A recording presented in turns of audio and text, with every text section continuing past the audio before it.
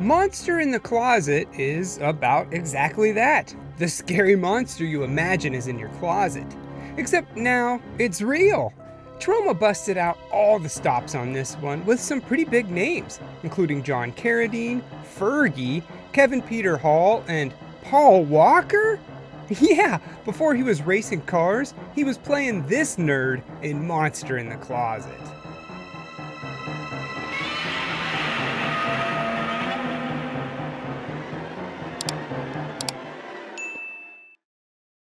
First off, this movie isn't to be taken too seriously. Like most other Troma movies, this is a horror comedy. And boy oh boy is there a lot of dumb moments in this movie. Like, for example, they think it's really important for the audience to know the date and time. It comes up like every five minutes.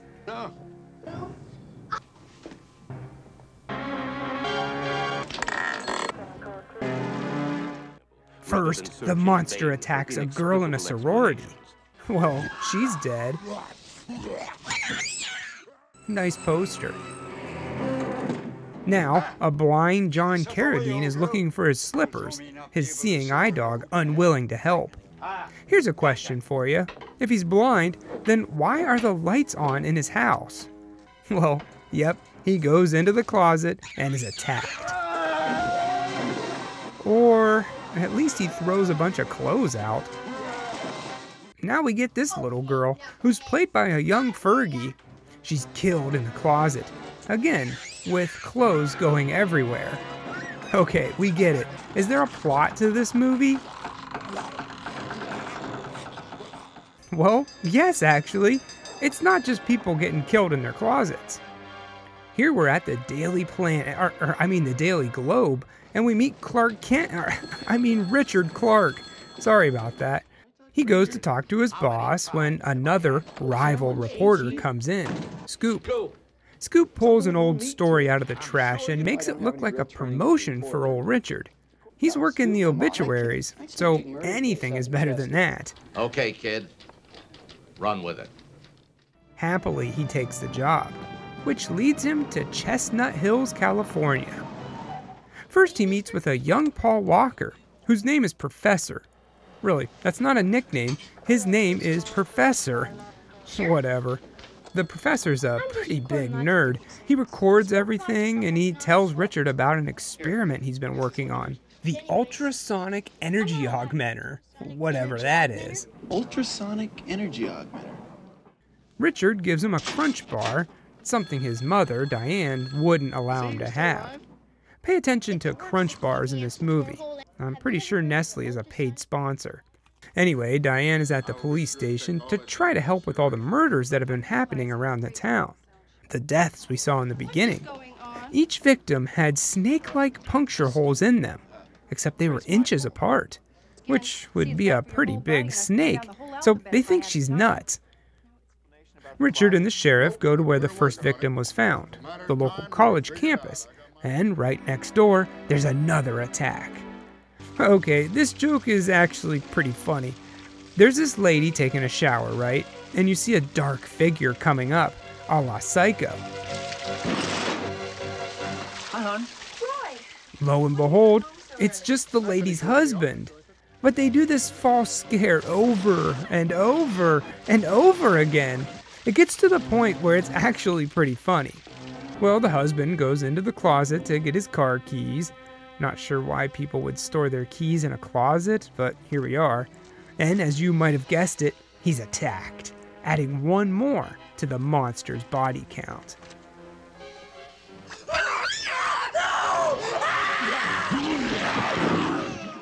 The guys hear his wife screaming and rush over, only to see that they were too late.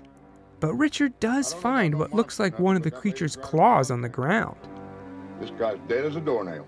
He takes it over to the school to get it analyzed, and here's where he's properly introduced to Professor Diane Bennett. Hi.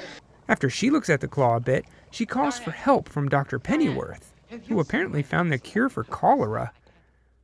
He's interested in the claw and wants to know more, so he takes it and agrees to share his findings tonight at dinner. Later that night at Diane's place, they all get to talking for a while about nothing really. But when Richard cleans his glasses, there's just something. Oh, sorry, I don't know what came over me. That's precisely the point. They're defenseless creatures. The professor takes Richard upstairs to show him his experiment, which is totally cool. I know that I'd let my kids take a totally random stranger up to their bedrooms. Luckily, Richard isn't like that, and he shows genuine interest in the professor's experiments.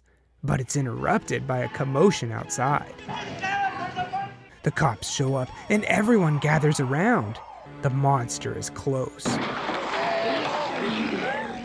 The police have this place surrounded, and that's when it breaks out, giving us a real good look at it. I don't know what to say. I kind of like it, especially its little tail. In the suit is Kevin Peter Hall, the monster suit master. He played the Predator, and more importantly, Harry from Harry and the Hendersons. A pretty good get for such a low budget movie. They open fire on the creature, which does nothing. Its tongue comes out like a knockoff xenomorph, because that's what it is, and it tosses the sheriff like a rag doll. Now, Richard's story just got a bit more interesting. After seeing the success he had inadvertently handed over to Richard, Scoop wants to get in on the action. Hey, Dicky boy. But Diane has already fallen for Rich, so he gets first dibs on the story and on her. Pennyworth is listening to the recording the professor did right before the attack, and we hear some notes played on a xylophone. Could this be a way to communicate with it? We've just found the key.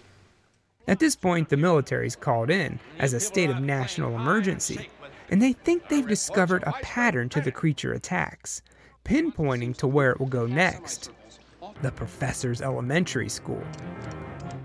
Everyone rushes over, but it would seem like they're too late, seeing the monster carry him away.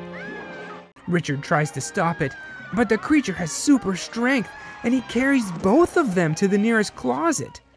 Their only hope is to rip the professor's shirt and get him free.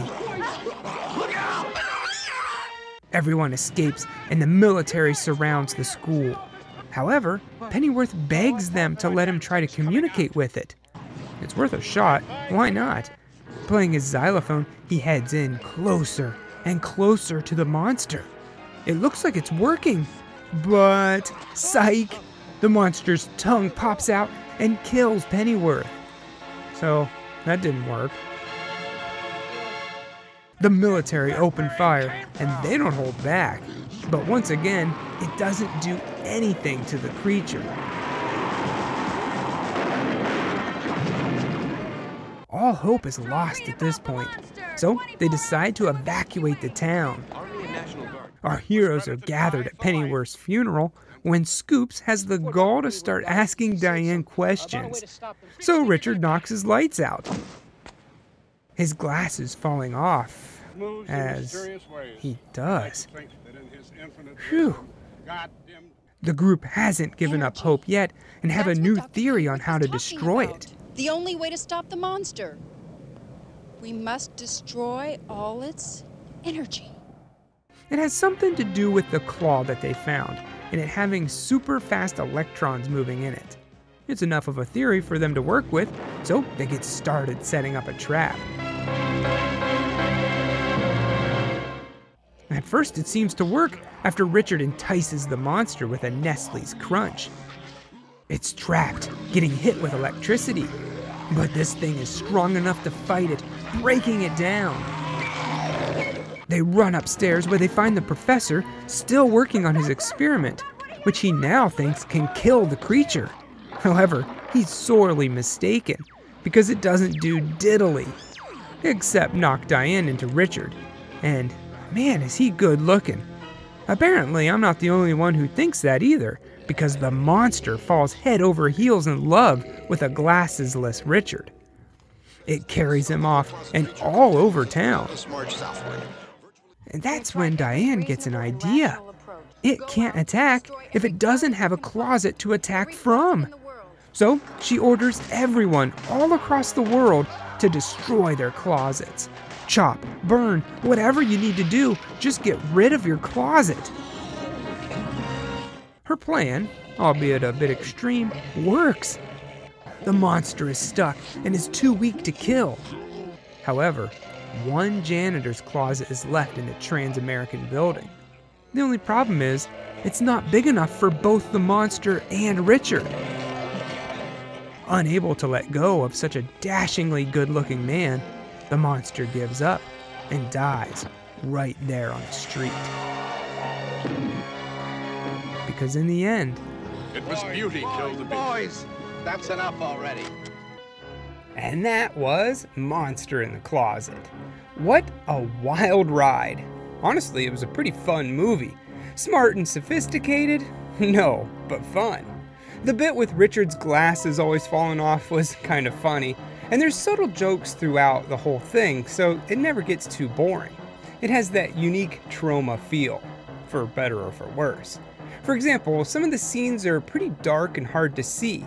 You can still make out what's happening on screen, but just a little bit more light would have been nice. Although not necessary, it would have been nice to have a little bit more gore. Even some cheap looking guts hanging out of the body would have been better than just them throwing clothes out of the closet door. Speaking of the effects, however, I loved the look of the monster. Seriously, it doesn't look too bad and it's animated well. Dare I wonder what this thing would look like nowadays with a bigger budget and some CGI to assist the practical effects? Now, I know it's blasphemy, and I wouldn't seriously consider it, but maybe it's time for a remake of Monster in the Closet? I'm just throwing that out there, Hollywood. Monster in the Closet is cheap, guilty pleasure fun that everyone should watch at least once. Just be in the mood for more of a comedy than a horror. I give it three Nestle Crunch Bars out of four. Now be a good doggy and bring old Joe his slippers.